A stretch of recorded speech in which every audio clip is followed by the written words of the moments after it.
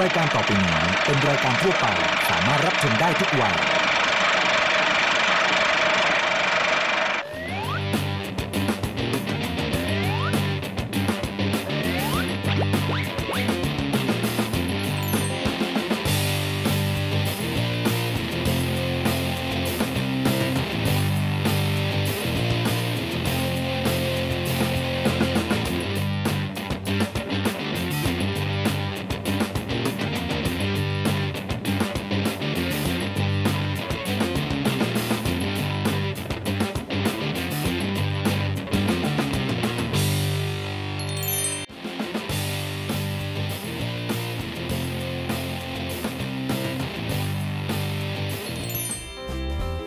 วัสดีครับ พบกับผมเท็ดดี้นะครับ ในรายการ Cooking Guru ทุกวันอังคารเวลาบ่าย2โมง45 นาทีนะฮะ ทางช่อง Workpoint TV หมายเลข 23 ครับ แน่นอนเลยนะครับ วันนี้ผมเท็ดดี้จะเข้าครัวกับเชฟประจวบครับ จะทำเมนูอร่อยๆ มาแชร์คุณผู้ชมนะฮะ วันนี้บอกได้เลยว่าเป็นเมนูขนมทานเล่นนะครับ ชื่อว่าโดนัท แต่ว่าไม่ใช่ของหวานนะครับ เพราะว่าวันนี้เนี่ยจะเป็นอาหารทานเล่นอย่างกุ้งโดนัทนั่นเอง อยากรู้ว่าจะเก๋ขนาดไหนต้องเตรียมอะไรบ้างขอเวลาสักครู่นะครับ เพราะว่าตอนนี้เนี่ยอาจารย์ยิ่งศักดิ์มีเรื่องราวดีๆ มาแชร์ต่อ เดี๋ยวเราไปชมพร้อม ๆ กันเลยนะครับ ช่วงเมนูเด็ดอัมพวาการันตี สวัสดีครับคุณผู้ชมครับ และนี่ก็คือช่วงเมนูเด็ดอัมพวาการันตีนะครับ วันนี้อาจารย์ยิ่งศักดิ์จะพาคุณผู้ชมนะครับ ไปที่ร้านอ่อนละนุชเป็นร้านอาหารไทยย่านสุขุมวิท 23 ครับคุณผู้ชมครับ แล้ววันนี้อาจารย์จะพาไปชิมเมนูเด็ดของร้านนะครับ นั่นก็คือแกงคั่วปูใบชาพลูครับ เราไปชิมกันเลยครับคุณผู้ชมครับทำไมแกงคั่วปูใส่ใบชาพลูของร้านเรา ถึงขายดีขายดีมีแต่ครับคนมาแล้วก็ต้องชิมแต่จานเนี้ยเพราะอะไรคะ เมนูนี้นะครับอืม ทำพริกแกงเองนะครับแล้วก็ใช้ผลิตภัณฑ์ที่เราคัดสรรมาอย่างดี โดยเฉพาะตัวเครื่องแกงแล้วตัวกะทิที่เราใส่ลงไป จ้ะ เราเลือกใส่เป็นกะทิของอัมพวานะครับแล้วก็เป็นเนื้อปู เออแล้วทำไมถึงจะต้องเป็นกะทิอัมพวากับตำรับนี้ล่ะ คือจริงๆแล้วเมนูนี้นะครับที่ชื่อด้วยแกงนะครับเราต้องเลือกใช้กะทินะครับเราเลยครับเลือกใช้กะทิอัมพวา จึงทำให้แกงเรามีความขาวข้นหอมมันเหมือนกะทิคั้นสดเลยครับอาจารย์ครับ ค่ะงั้นอาจารย์ขออนุญาตคุณอ๋องชิมนะ ได้ครับเรียนเชิญครับ ปูชิ้นใหญ่น่ารับประทานมากเลยคุณผู้ชมอืมแกงของเรารสชาติอร่อยมากเลยนะขอบคุณครับ เนื้อปูสดมากๆ เครื่องแกงก็มีความหอม น้ำแกงก็สีสันดูสวยน่ารับประทานมาก มันดูดีแบบเนี้ยมันต้องมีเคล็ดลับหรือมีวิธีปรุง คุณอ๋องเล่าให้เราฟังหน่อยได้ไหมว่า ปรุงยังไงถึงจะได้ออกมาเป็นแบบเนี้ยได้ครับ ขั้นตอนการทำนะครับ เราโขลกเครื่องแกงเองทุกวันนะครับ แล้วก็ใช้กะทิอัมพวานะครับขาวข้นหอมมันนะครับ ได้รสชาติเหมือนกะทิคั้นสดเองเลยครับ แล้วก็ใช้สะดวกด้วยที่สำคัญและไม่ต้องเสียเวลาคั้นเองเลยครับผม ทั้งหอมทั้งเข้มข้นเพราะใช้อัมพวากะทิร้อยเปอร์เซ็นต์นี่เอง และยังมั่นใจได้ถึงความสะอาดปลอดภัยแน่นอนนะครับเพราะผลิตและบรรจุด้วยเทคโนโลยีที่ทันสมัยนะครับ ทั้งแบบกล่องและแบบขวดคุณภาพดีเหมือนกันเลยครับ จากนั้นนะครับตั้งกระทะนะครับใส่กะทิอัมพวาลงไปนะครับแล้วก็ใส่เครื่องแกงของเราลงไป จากนั้นใส่ใบชะพูครับแล้วก็เนื้อปูที่เราคัดมาเนื้อเน้นๆ ใส่ลงตามไป เท่านี้นะครับเราก็เรียบร้อยแล้ว แล้วก็พร้อมเสิร์ฟได้เลยครับ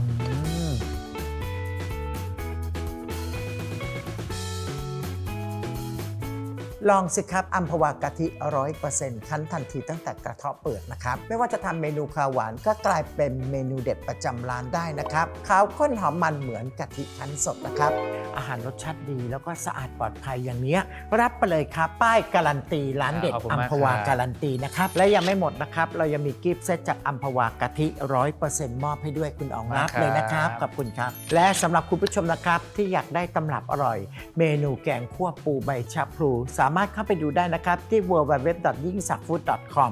ตามลิงก์ที่ขึ้นอยู่หน้าจอได้เลยนะครับ และสัปดาห์หน้าเราจะไปพิสูจน์ความอร่อยกันที่ไหน คุณผู้ชมต้องติดตามนะครับ อย่าลืมนะครับอัมพวากะทิร้อยเปอร์เซ็นต์ขาวข้นหอมมันเหมือนกะทิคั้นสด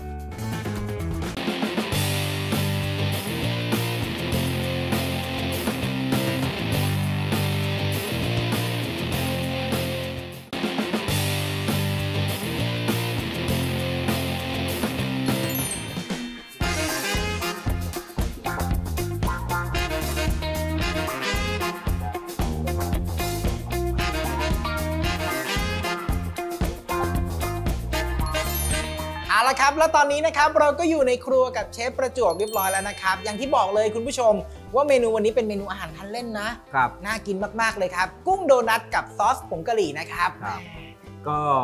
เราก็ทำเหมือนกับคล้ายๆเหมือนกับทำทอดมันกุ้งกันแล้วกันครับผม ว่าไงขั้นตอนแรกครับเชฟกุ้งโดนัทต้องเริ่มจากอะไรครับเราก็ผสมกุ้ง แล้วก็มีสามเกลออแล้วก็มันหมูอันนี้ก็คือรสชาติแบบไทยๆเลยนะถูกต้องแหละครับ เอ่าละครับ โอเค อันนั้นเป็นเริ่มต้นนะครับกุ้งบดนะโอเคเนื้อกุ้งบดแล้วก็มันหมูบดสัดส่วนยังไงบ้างเชฟเราตามชอบเลยไหมอยากได้ฉ่ำๆมันหมูเยอะๆอัได้นไหมนี้ก็มีอัตราส่วนนะฮะกุ้งต้องเยอะกว่าหน่อย ถูกต้อง อันนี้เป็นสามเกลือนะครับรากผักชีกระเทียมพริกไทยนะอืมง่ายๆแบบนี้เลยนะครับอ่ากุ้งบดนะครับ แล้วก็มันหมูแล้วก็สามเกลือนะฮะ สัดส่วนกุ้งกับมันหมูเนี่ยจริง ๆ แล้วจะเป็นกุ้งล้วนก็ได้ แต่ว่าเราใส่มันหมูเข้าไปเนี่ยสักส่วนหนึ่งเพื่อที่ให้เขามีความฉ่ำความมันมากขึ้นนะเชฟนะใช่ถูกต้องอืมโอ้โหโอเคช่วยใส่เกลือกับอ่าได้ครับ อันนี้เชฟจะปรุงรสแบบง่ายๆนะครับ อันนี้เกลือป่นเสริมไอโอดีนนะ ตามด้วยพริกไทยป่นนะครับ ตามด้วยไข่ไก่หนึ่งฟองนะครับ ไข่ไก่นี่ช่วยอะไรในในตัวกุ้งโดนัทของเรา ก็มันก็จะให้เกาะ เหมือนเป็นตัวกาวที่ใช่ประสานนะใช่ให้เขามีบอดี้ที่ดีขึ้นนะอืมพอเข้ากันดีแล้วนะฮะคุณผู้ชมบอกได้เลยว่า หลายคนงงนะไม่รู้ด้วยว่าถ้าใส่สิ่งนี้เข้าไปเนี่ยจะง่ายและจบเลยครับ ถูกไหมครับ นี่คือความลับของจักรวาลเลยนะครับ คุณผู้ชม แป้งประกอบอาหารตราโกกินะครับ ใส่ลงไปอันเนี้ยกุ้งโดนัทของเรานอกจากจะ กรอบนอกแล้วข้างในนี่คือเขาเนื้อแน่นสวยงามเลยนะครับมาแป้งประกอบอาหารตราโกกินะครับเราใส่ลงไป เมื่อกี้ส่วนผสมของเราอะยังเหลวๆอยู่เนาะครับพอใส่แป้งโกกิไปปุ๊บนี่เขาเริ่มเป็นก้อนมากขึ้นนะครับแล้วพอไปทอดปุ๊บนะคุณผู้ชมนะ ข้างนอกเขาจะกรอบกำลังดีเลย โอเค แล้วข้างในก็แบบกำแบบอีกนิดนึง แน่นๆอะตอนนี้เราก็ได้ส่วนผสมของกุ้งโดนัท แต่เรายังทำไม่ได้ทันทีนะ เราจะไปเก็บเข้าตู้เย็นสักครู่หนึ่งอ่าโอเคครับถ้าอย่างนั้นเอาแค่เขาเซตตัวก่อนครับนะครับแล้วเดี๋ยวเรามาบีบพร้อม ๆ กันครับ ครับผม เอาละครับคุณผู้ชมครับ ระหว่างที่รอตัว กุ้งโดนัทของเราครับนะครับ ตอนนี้ก็มาทำซอสกันก่อนเลยถูกต้องซอสผงกะหรี่ครับเชฟครับก็เอากะทิครับมาเป็นตัวเชื่อมอ่านะฮะแล้วเราก็อาจจะต้องอะไรใช้แป้งข้าวเจ้าผสมกับกะทิให้เขาข้นหน่อยใช่อ่าก็คือซอสเนี่ยเป็นเบสกะทิแบบรสชาติไทยครับๆแต่เราใส่แบบกลิ่นอายของความเป็นแบบอาหรับนิดนึง วันนี้นะครับเราใช้อัมพวากะทิร้อยเปอร์เซ็นต์นะครับ นี่ต้องบอกว่าเขาคั้นทันทีตั้งแต่กระเทาะเปลือกเลยครับ ขาวดูนะฮะเชฟ ครับ เหมือนกะทิคั้นสดเลยเอาละครับ ใส่กะทินะครับกับแป้งข้าวเจ้าลงไปครับ หลังจากที่เราใส่แป้งข้าวเจ้าแล้วเราคนให้เข้ากันนะให้แป้งละลายดีแล้วเราถึงจะเปิดความเปิดไฟอ๋ออันนี้คือคนให้เข้ากันก่อนนะ เราค่อยครับเปิดไฟ ระหว่างที่เราคนกะทิเริ่มข้นนะ เราก็จะปรุงรสด้วยนี่เลยครับเอ่อวันนี้เราปรุงรสแบบง่ายๆนะ เป็นเกลือแบบเกลือไทยด้วยครับ ตามด้วยอันนี้นะครับผงกะหรี่ครับ ทั้งความหอมแล้วก็สีสันเนาะ จากนั้นนะครับพริกฝรั่งสามสีนะครับนี่ได้สีสันเลยแล้วก็มีกลิ่นหอมๆด้วย แล้วก็สุดท้ายนะคุณผู้ชม อันนี้เป็นมอสซาเรลล่าชีสนะครับอื้อหือ อันนี้เหมือนกับเรากินซอส béchamel โอเคครับอันนี้เราก็อ๋อ พอชีสละลายเราก็ทิ้งให้มันเซตตัวมันครัก็บจะมีความหนืดขึ้นโอเคเขาจะข้นของเขาเลย อ่าแล้วเราก็จะหาของที่เราชอบมา มาจิ้มจิ้มได้เลยใช่มา dip ได้เลย พร้อมเป็นซอสน้ำจิ้มของเราแล้วนะครับโอเค นี่เอาละครับซอสพร้อมนะครับ เดี๋ยวเรามาขึ้นรูปโดนัทกุ้งพร้อมๆกัน แล้วก็มาทอดเลย โอเคครับ เอาละครับซอสของเรานะครับ เรียบร้อยแต่ว่าแอบไว้ก่อนครับนะครับตอนนี้จะมาทำกุ้งโดนัทนะฮะโอเคส่วนผสมที่เมื่อกี้ลุงเชฟของเราผสมเรียบร้อย พักไว้สักแป๊บหนึ่งนะครับให้เขาเซตตัวเอาเข้าถุงบีบแบบนี้เลยได้ครับเอาละครับมาอันนี้เราก็หาถุงบีบเค้ก ถ้ามีหัวบีบหน่อยให้เขาขึ้นรอนๆริ้วๆหน่อยก็ได้เนาะอ่ได้เลย โอเค อันนี้แบบง่าย ๆเลยนะครับ เป็นถุงบีบทั่วไปเลย คุณผู้ชมดูนะสังเกตเชฟจะบีบลงไปในแผ่นพลาสติกด้านล่างอย่างน้อยเขาจะไม่ไม่ติดนะฮะ แล้วก็สามารถทำงานต่อได้ง่ายเนาะ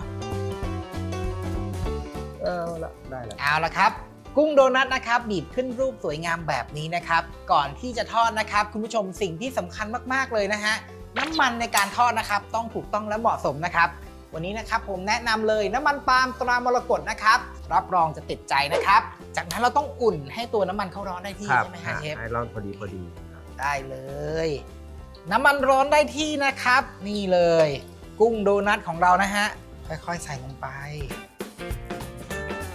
เอาละครับ ใส่ตัวกุ้งโดนัทของเราลงไปนะฮะครัโอ้บโหใช้ไฟอันนี้ไฟไม่ค่อยแรงนะ กลางๆนะ ใช่ เพราะว่าถ้าไฟแรงข้างนอกอาจจะสุกครับดูสวย แต่ข้างในยัข้างงในอาจจะยังไม่ได้ที่นะอ่าโอ้โหแล้วถ้าเป็นมันหมูดิบนี่กินแล้วไม่อร่อยเลยอ่าโอ้โหแต่บอกได้เลยนะคุณผู้ชมนะง่าย ๆ แบบนี้คือกลิ่นหอมมากอ่าโอ้โห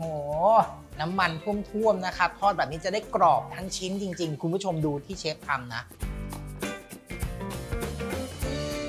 แต่บอกได้เลยนะ คุณผู้ชมนะ ตอนนี้เนี่ยน่ากินมากกุ้งโดนัทของเรานะสีเหลืองทองเลยแล้วหอมจริงๆเอาละครับ กุ้งโดนัทของเราพร้อมเสิร์ฟแล้วครับ มาครับเชฟนี่จานเสิร์ฟของเรานะครับ วางเรียงไปเลยเขาดูกรอบเลยนะแบบอยากกินแล้วอะแบบ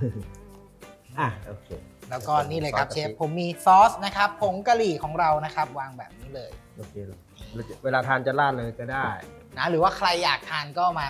หน้าทีละชิ้นก็ได้ได้เหมือนกันนะครับ พร้อมเสิร์ฟนะฮะคุณผู้ชมกับเมนูของเชฟประจวบแล้วก็เท็ดดี้ในวันนี้นะครับ กุ้งโดนัทกับซอสผงกะหรี่ครับ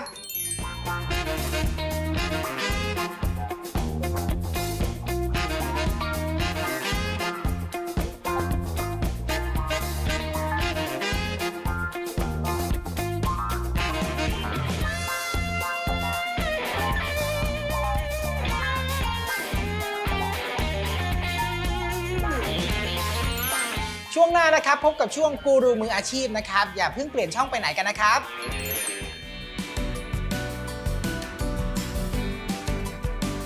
วันนี้โกกิชี้ช่องทางขายอาหารออนไลน์กับเมนูแสนอร่อย ขนมปังหน้าหมูสเต๊ะโกกิตัวจริงเรื่องแป้งทำกินเองได้ทำขายออนไลน์ก็ดี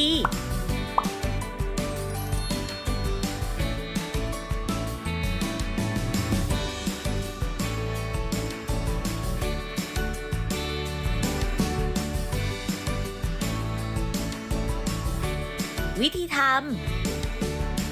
ำ ใส่หมูบดลงในภาชนะ ตามด้วยผงสเต๊ะสำเร็จรูป กะทิ สามเกลือ ซอสหอยนางรม ไข่ไก่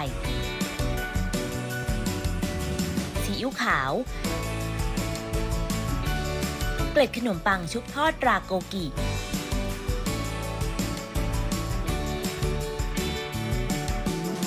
คนผสมให้เข้ากัน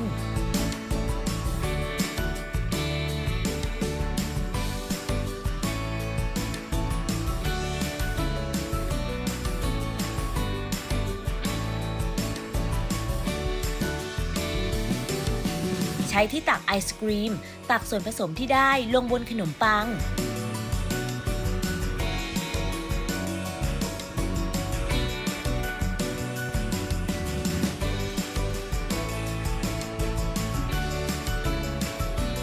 นำลงทอดในน้ำมันพืชที่อุ่นไว้ ทอดจนสุกเหลืองกรอบแล้วตักขึ้น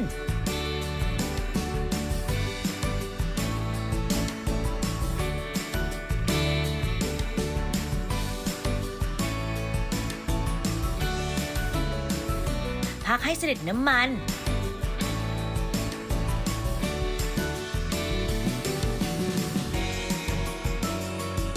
จัดใส่ภาชนะ รับประทานคู่กับน้ำจิ้มอาจาดพร้อมเสิร์ฟแล้วค่ะกับเมนู ขนมปังหน้าหมูสเต๊ะ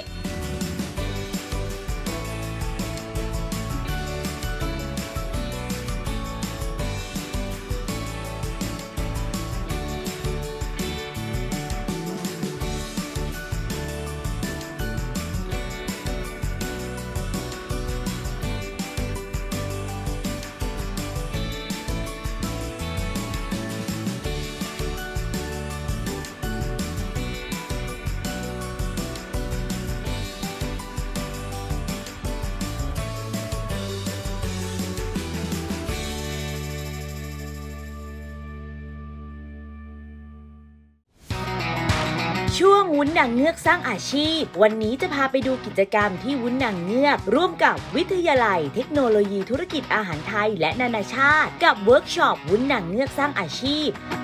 วุ้นที่เราเลือกใช้คือวุ้นตรานางเงือก ที่อาจารย์ใช้จะเป็น AA เนื้อมะพร้าวเราจะใช้อยู่ 2 แบบบดละเอียด หรือหยาบเวลารับประทานมันก็จะมีเป็นชิ้นเป็นอัน ใครที่อยากได้สูตร และดูวิธีทำวุ้นกะทิมะพร้าวอ่อนเต็มๆได้ที่ YouTube ช่องยิ่งศักดิ์ฟู้ดได้เลยค่ะสำหรับกิจกรรมครั้งหน้าจะเป็นการสอนเมนูอะไรรอติดตามชมกันนะคะ ส่วนใครที่พลาดเวิร์กช็อปครั้งนี้ไม่ต้องเสียใจ เพราะกิจกรรมดีๆกับวุ้นนางเงือกสร้างอาชีพจัดประจำทุกเดือน ใครสนใจติดตามข่าวสารกันได้ที่โซเชียลมีเดียยิ่งศักดิ์ฟู้ดทุกช่องทาง บอกเลยว่ามาเรียนแล้วได้ลงมือทำจริงนำไปสร้างอาชีพได้จริงแน่นอนค่ะ อาจารย์สอนดีมากและเข้าใจง่ายด้วยครับสามารถทำตามได้ทันทีเลยขอบคุณวุ้นนางเงือกนะครับที่ให้โอกาสแล้วก็ให้ความรู้เพิ่มเติมนะครับมาเรียนกันเยอะๆนะครับเพราะว่าเขาเปิดเวิร์กช็อปทุกเดือนนะครับแล้วก็ที่สำคัญก็คือฟรีด้วยนะครับผมให้ความรู้เยอะมากเลยค่ะ เรียนฟรีด้วยนะคะ เชิญนะคะ ต้องขอขอบคุณบริษัทวุ้นนะคะที่ให้โอกาสได้มาเรียนค่ะต้องขอบพระคุณมากเลยค่ะกู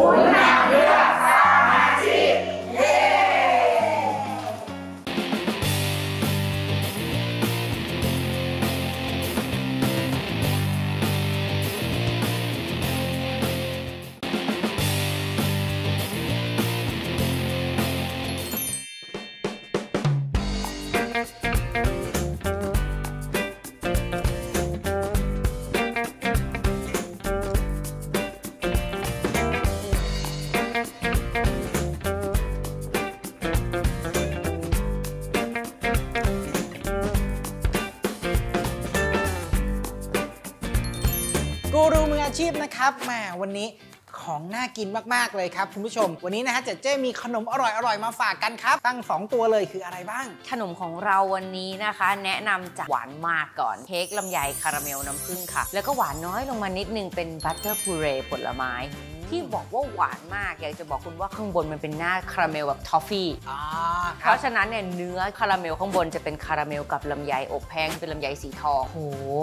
อร่อยมากอะหอมเนยสุดๆแต่นอกจากจะหอมเนยหอมคาราเมลหอมนมแล้วเนี่ยตัวคาราเมลนี่คือเขาเป็นแบบมีมีน้ำผึ้งเข้าไปช่วยนะเป็นคาราเมลน้ำผึ้ง คือไฮโซกว่านั้นน่ะไฮโซกว่าปกติอะ แล้วที่เนื้อเค้กอร่อยมาก ๆ เพราะเป็น butter cake เนื้อเข้มๆกาแฟ เรียกได้ว่ากาแฟลำไยคาราเมลน้ำผึ้งมันเข้ากันได้ดีมาก ๆ ขนมตัวนี้เป็นจุดเริ่มต้นมาจากที่บ้านเราชอบกินครับขนมกันทุกวันเสาร์แล้วคุณพ่อก็จะชอบทำขนมเหมือนแบบความสุขเด็กอ้วนอะรสจัดเข้มข้น แล้วเนี่ยเป็นหนึ่งในเมนูที่เราทดลองทำกันเสร็จแล้ว พูดกับป้าว่าอร่อยจังอร่อยจังอร่อยจังทำขายเถอะจนกระทั่งขนมอร่อยแบบเนี้ยได้ลงมาทำขายจริง ๆ แล้วก็ยังอร่อยทุกก้อนที่ทำเลยอะนี่ก็คือที่มาที่ไปของเค้กลำไยคาราเมลน้ำผึ้งนั่นเอง ต้องบอกว่าเป็นของหวานที่เป็นของหวานจริง ๆ ถ้าคุณอยากทานของหวานที่รสชาติจัดจ้านนะฮะรสชาติถึงจริงๆเนี่ยต้องลองสั่งตัวนี้ แล้วถ้าเกิดว่าซื้อไปทานทั้งปาร์ตี้เนี่ยต้องการให้เขาอุ่นๆหน่อยคุณสามารถเอาฟรอยล์ของเราเข้าไมโครเวฟได้เลย อุ้ยหลายคนนะไม่ไม่แบบเขาไม่กล้าเอาเข้านะเขาบอกว่าปกติเนี่ยฟอยล์เข้าเวฟปุ๊บมันช็อตมันระเบิดอ่านะ อันนี้ของเราเป็นเกรดที่เป็น microwave safe ก็คือนำเข้าไมโครเวฟได้อ่าค่ะก็คือสามารถอุ่นเค้กของเราแต่ต้องมีเนื้อเค้กอยู่ข้างในด้วยนะเออคือถ้าเป็นฟอยล์เปล่าๆ ก็ไม่ได้นะ เท็ดดี้ไม่ก็คือหลายคนบอกว่า พอกินเสร็จปุ๊บเหลือฟอยล์เปล่าๆไงเขาเอาไปใช้ต่อแล้วแบบอุ่นฟอยล์เปล่าๆอย่างนั้นไม่ได้นะ ไม่อันนี้ผมพูดความจริงคือมีคนถามมาแล้วเขาถามว่าโอ๊ยถ้าแบบเวฟได้แบบนี้ เก็บเอาไปใช้ครั้งต่อไปได้ไหมอืม คือใช้เวฟแค่อันเนี้ยแล้วก็ไม่สมควรเอาไปใช้ซ้ำนะครับค่ะเค้กของเราก้อนใหญ่ขนาดนี้หนึ่งถาดอย่างนี้นะคะ แบ่งกินได้หลายคนเลยล่ะ คุณเชื่อไหมว่าก้อนใหญ่ขนาดเนี้ย450 บาทเองนะ ที่สำคัญส่งฟรีทั่วประเทศด้วยจ้ะ อีกหนึ่งเมนูครับแหมสีสันสะดุดตามาก ๆ เลยอาหลายคนที่เป็นแฟนบัตเตอร์เค้กของอาจารย์ยิ่งศักดิ์พอเขาบอกว่าอาจารย์ยิ่งศักดิ์ทำขนมทีไรหอมนมหอมเนย เค้กตัวนี้ก็เป็นอีกหนึ่งตัวค่ะ ที่ทั้งหอมนมหอมเนย เพราะว่าเป็นเค้กที่ทำเป็นเนื้อ butter เนื้อ butter คือเนื้อที่ใส่เนยลงไปเยอะมากๆเพราะฉะนั้นเนี่ยเวลาใส่เนยเยอะเนื้อเค้กจะฉ่ำค่ะ นอกเหนือจากเค้กฉ่ำๆที่หอมนมหอมเนยแล้ว อันนี้มี puree puree สตรอเบอรี่ puree สับปะรดแล้วก็ puree บลูเบอรี่ของเราเนี่ยมีสามรสชาติเลยใส่ลงไปแล้วเนี่ยมันคือตัวผลไม้เอามาเคี่ยว แล้วก็เทลงไปในเนื้ออ๋เค้อกอขย่าองงอัเรานนี้รสสตรอเบอรี่ก็เป็นใช่ไหมเนื้อสตรอเบอรี่ใส่ลงไป สีแดงๆ นี่คือพูพูเรสตรอเบอรี่ของเรา ใช่ค่ะ กัดเข้าไปเสร็จแล้วเนื้อก็จะหนุบหนับหนุบหนับหน่อยอ๋อ รสชาติเข้มข้นใช่ถ้าเกิดคุณอยากให้เค้กฉ่ำขึ้นแล้วก็ปูเรของเรานุ่มยืดได้ในดึงเนี่ยนะ เอาเข้าไมโครเวฟสักครู่เดียวค่ะ รับรองว่าตัวเค้กของคุณจะฉ่ำเนยมากแล้วปูเรก็จะนุ่มยืดเลยอืมอะอันนี้จริง ๆ ก็บรรจุอยู่ในถาดฟรอยล์เหมือนกัน ซึ่งก็สามารถนำอุ่นในไมโครเวฟได้ ของอร่อยแบบนี้ซิลสูญยากาศนะคะทำให้ขนมของเราคงความสดจากหน้าเตาของเราจนถึงมือลูกค้าอืมในราคาเพียง 350 บาทเท่านั้นเองค่ะ ตัวปูเรนะ 350 บาทค่ะ ครับผมราคาน่ากินมาก ๆ เลยนะฮะ สั่งกันได้เลยนะฮะ คุณผู้ชมทวนกันอีกครั้งหนึ่งนะครับ เค้กลำไยคาราเมลน้ำผึ้งนะครับ นี่ถาดฟอยล์สวยงามแบบนี้ เค้กกาแฟรสชาติเข้มข้น ข้างในมีเนื้อลำไยด้วย อืม แล้วด้านบนก็จะเป็นลำไยคาราเมลน้ำผึ้งโอ้โหน่ากินแบบนี้ดู หรือว่าจะเป็นอันนี้นะครับ เค้ก butter puree นะครับ มี 3 รสชาติเลย สับปะรดบลูเบอรี่แล้วก็สตรอเบอรี่นะครับ แต่ละรสนะฮะหนึ่งถาด 350 บาท ส่งฟรีทั่วประเทศนะครับ สั่งกันได้เลยนะฮะ ที่แอปพลิเคชันที่ขึ้นด้านล่างนี้นะครับ หรือว่าโทรเข้ามานะฮะ ที่ 026827644 หรือ 0922658968 ครับ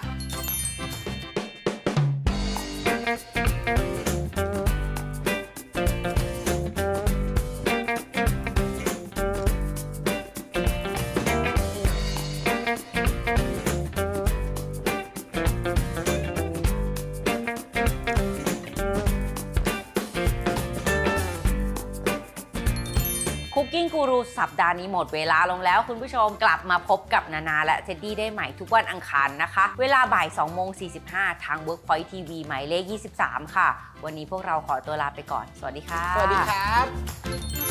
และในวันนี้นะครับก็คือเมนูข้าวมันกับไก่ทอดสมุนไพรครับ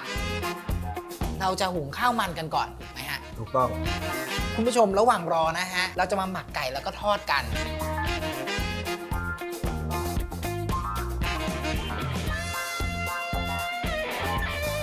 เดี๋ยวเรามาเสิร์ฟพร้อม ๆ กันนะครับ กับเมนูข้าวมันกับไก่ทอดสมุนไพรครับกูรูมืออาชีพของเรานะครับ มีของอร่อยมาฝากนะครับ แน่นอนเลยฮะที่อยู่บนโต๊ะนี้นะครับ คือที่สุดของที่สุดของที่สุดฟุตเค้กในประเทศไทยเลย เรามาถึงจุดที่ตอนนี้เนี่ยเรามีฟุตเค้ก3รสแล้ว ใครกินก็ชอบ